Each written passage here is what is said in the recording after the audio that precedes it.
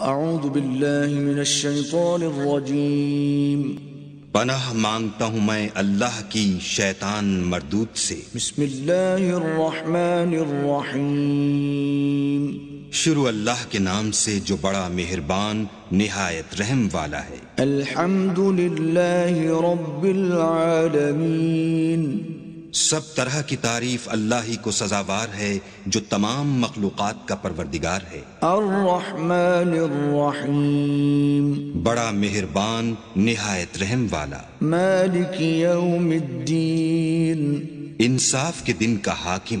إياك نعبد وإياك نستعين اے پروردگار ہم تیری ہی عبادت کرتے ہیں اور تجھی سے مدد مانگتے ہیں۔ اهدنا الصراط المستقيم ہم کو سیدھے رستے چلا۔ صراط الذين أنعمت عليهم غير المغضوب عليهم ولا الضالين ان لوگوں کے رستے جن پر تو اپنا فضل و کرم کرتا رہا۔